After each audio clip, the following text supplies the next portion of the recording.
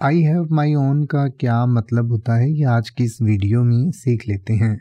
I have my own का मतलब होता है कि मेरे पास मेरा अपना है। यानी कि जैसे आप ये कहें कि मेरे पास मेरी अपनी गाड़ी है तो मुझे आपकी गाड़ी में चलने की ज़रूरत नहीं है। तो आप कह सकते हैं I have my own car so I don't need a ride या अगर आप ये कहना चाहें कि मेरे इस मुद्दे पर अपने विचार हैं या मेरी इस मुद्दे पर अपनी राय है तो आप कह सकते हैं I have my own opinions on this matter या अगर आप ये कहना चाहें कि मेरे पास मेरा अपना कंप्यूटर है काम करने के लिए तो आप कह सकते हैं I have my own computer for work या अगर आप ये कहना चाहें कि मेरा चीज़ों को करने का अपना तरीका है, या मैं चीज़ें अपने ढंग से करता हूँ तो आप कहेंगे I have my own way of doing things अब आप ऐसे ही किसी भी वर्ड का मतलब हिंदी और इंग्लिश में यूट्यूब पर सर्च कर सकते हैं। आपको मेरी वीडियो मिल जाएगी, जिसमें आप बिना किसी फालतू बकवास के सीधा उस वर्ड का मतलब समझ पाएँगे। तो ऐसी ही वीडियोस को देखते रहने के लिए चैनल को सब्सक्राइब करें और बेल आइकन को प्रेस करें।